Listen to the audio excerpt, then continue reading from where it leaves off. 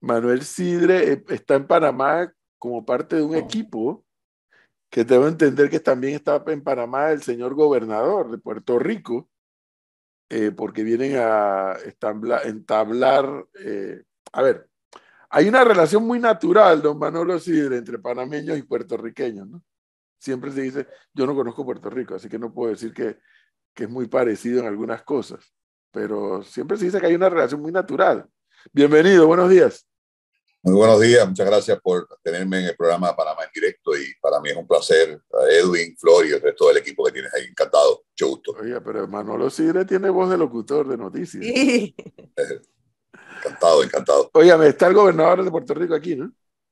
El gobernador llega hoy a las nueve, nueve y cuarto en vuelo de copa directo de Puerto Rico. A propósito, son dos vuelos directos que tenemos de Panamá de Panamá a Puerto Rico y viceversa, eh, todos los días, los siete días de la semana.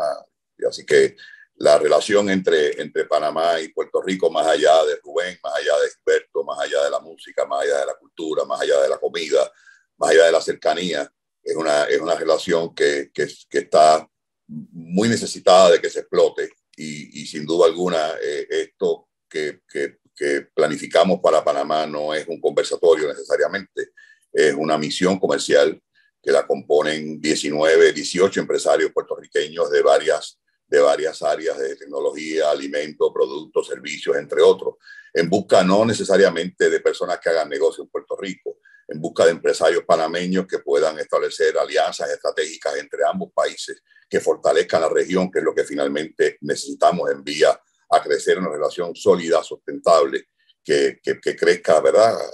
al nivel que todos esperamos. Creo que por muchos años nos hemos conformado con ser muy afines en la música, en el deporte, entre otras. Yo creo que nos llegó la hora, como dice el refrán, el maestro aparece cuando el estudiante está listo, de, de, de, ver cuáles son las fortalezas de, ambas, de, ambas, de ambos territorios y cómo lo podemos fortalecer y cómo lo podemos maximizar. ¿Qué, ¿Qué, tipo de comercio, estoy pensando mientras usted habla, qué tipo de comercio, de intercambio comercial puede haber entre Panamá bueno, para que tenga una idea, ¿verdad? Puerto Rico es la jurisdicción norteamericana que más exporta productos farmacéuticos en el mundo.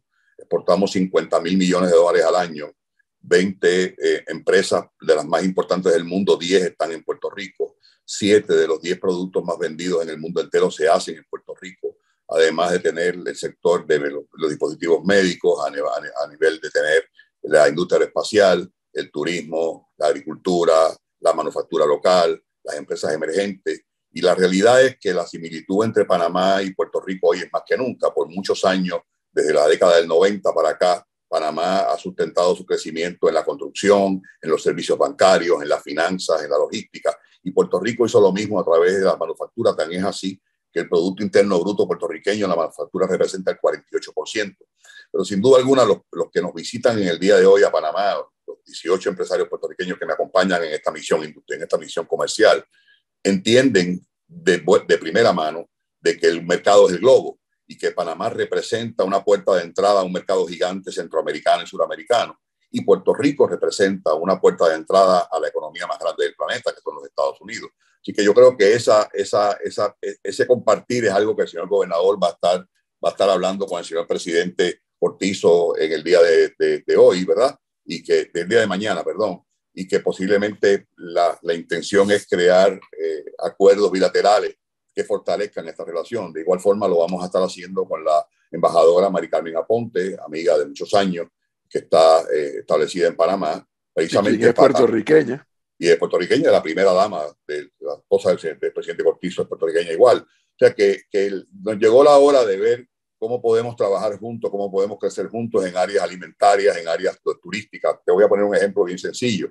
Ustedes tienen el mismo problema nuestro. Ustedes reciben 16 millones de personas a través del aeropuerto local. Sin embargo, la cantidad de personas que se quedan en Panamá es ínfima. Todos se trasladan a otras jurisdicciones. Lo mismo ocurre en Puerto Rico. 12 millones de personas todos los años en el, en el sector de cruceros y la, y, la, y la gran mayoría no pernocta en Puerto Rico. Se baja del avión y se monta en el crucero y se va que cómo podemos optimizar, cómo podemos maximizar juntos, que, esa, que ese, qué buenas prácticas podemos compartir de manera tal que podamos retener de alguna forma por lo menos una noche algunos de esos turistas, de esos, de, esos, de esos pasajeros que pasan por nuestros aeropuertos y que lamentablemente siguen hacia otras jurisdicciones, en el caso de Panamá y en el caso de Puerto Rico se montan en un crucero y se van.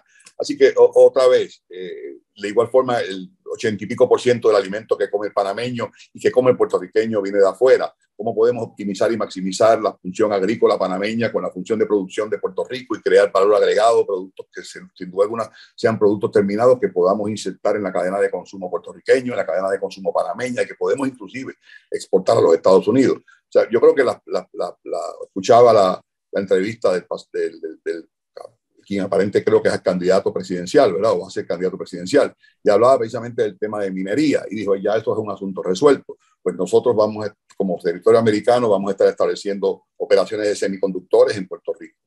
Y los semiconductores necesitan dos cosas muy importantes, metales preciosos y cobre. Y de eso tiene Panamá mm. para repartir. Así que otra vez, yo creo que son oportunidades que están ahí, sin entrar en el tema de si el pueblo quiere o no quiere la minería, pero sí quiero, creo que hay oportunidades de poder crecer, ¿verdad? Sí, ya esa, esta última parte es parte de lo que debiéramos estar discutiendo. El papel del cobre en el desarrollo y en estos cambios de, generación de energía y de, de, la fabricación de una cantidad de productos. Pero, de hecho, la, eh, en esto, ya que hablas de energía, el grupo ELETA acaba de hacer una inversión importante en Puerto Rico, va a manejar todo el grid energético de la base de Roosevelt Road, que es un terreno que era antiguo, una base militar, y la vamos a convertir en un área de desarrollo turístico y empresarial. Y toda la energía que se va a generar ahí desde el punto, de vista renovable está en las manos del Grupo Eléctrico. Ah, mira qué interesante esto que nos hemos enterado. Qué bueno.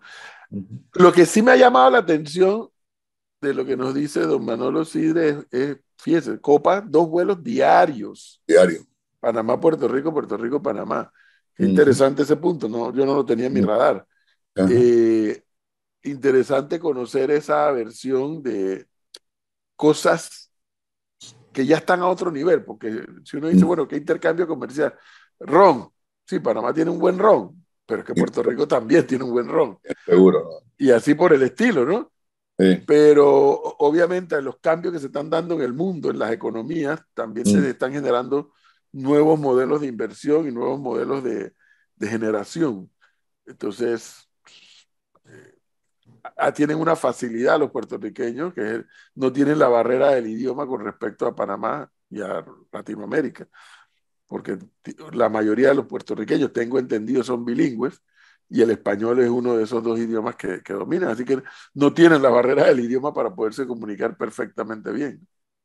Pero yo, fíjate, Edwin, yo, yo creo que, que el tema bilingüe es un tema muy amplio, ¿verdad? Bilingüe que pueda dominar los dos idiomas perfectamente. Ese no es necesariamente nuestro caso. Nosotros tenemos algún conocimiento de inglés, hay unos sectores que saben más, otros sectores que saben menos. Pero lo que, es, lo que es más importante, más allá del lenguaje, es que el puertorriqueño, a través de, los, esta relación con los Estados Unidos del año 1898, ha entendido y entiende perfectamente la cultura anglosajona, como entiende la cultura latinoamericana. Y esa, y esa, y esa combinación de ambas lo, prepara precisamente para ser un aliado. Sé que el presidente Cortizo eh, eh, se está mencionando la creación de dos nuevas zonas francas, creo que una se llama Getaway y la otra se, me escapa el nombre. Eh, definitivamente la experiencia de Puerto Rico en el sector de manufactura puede ser un aliado, no solamente en el área de empleo, en el área de diseño, en el área de, consejería, en el, área, en el área de, en, áreas específicas que tanto necesita un sector para poder crecerlo. Yo creo que Panamá tiene que entrar tarde o temprano en una función manufacturera importante, porque tiene la distribución única. Panamá tiene un canal y Panamá tiene un aeropuerto de clase mundial. Por lo tanto, esas dos consideraciones son extremadamente importantes a la hora de, de uno analizar el proceso. Te voy a poner un ejemplo con Alaska. Alaska tiene un waiver de cabotaje aéreo. Sin embargo, Alaska no produce nada. Puerto Rico tiene un waiver de cabotaje aéreo, pero Puerto Rico tiene un pipeline que produce. Pues nosotros estamos enfocándonos en almacenaje de carga sensitiva, en currículos universitarios de carga sensitiva, precisamente para aspirar el próximo año a no solamente tener que producir en Puerto Rico y enviarlo a los Estados Unidos, producir en Puerto Rico y enviarlo desde Puerto Rico al mundo entero. Y eso crea una cadena de valor distinta a la que tradicionalmente se, se, hacía. Los países hoy tenemos que buscar la forma de cómo ser más eficiente, de cómo ser más efectivo, porque la competencia es grande, ¿eh? la competencia es muy grande y muchas veces desleal. Y cuando se hacen alianzas, esa competencia entonces se alivia la carga. Se fortalece, se fortalece. sin duda alguna. Bueno, estaremos pendientes de esa visita del señor de Puerto Rico. Y, en el JW Mario hasta el, hasta el viernes. El viernes firmamos un acuerdo con la Universidad de Panamá para, para establecer vínculos de cooperación en el área educativa tan importante en este proceso. El día de mañana vamos a estar ofreciéndole a los inversionistas y a los eh, comerciantes panameños una, una, una, visión de, de, cómo se hace negocio en Puerto Rico. Y otra vez, la búsqueda de esta misión comercial trasciende más allá de lo que nos ha unido por mucho tiempo. Trasciende a que podamos juntos identificar la fortaleza y que como lo hicimos con la música, con el deporte, con la cultura, con la alegría que nos caracteriza, podamos hacer lo propio con el desarrollo económico, que es el único antídoto para combatir la pobreza. Es correcto, sin duda alguna.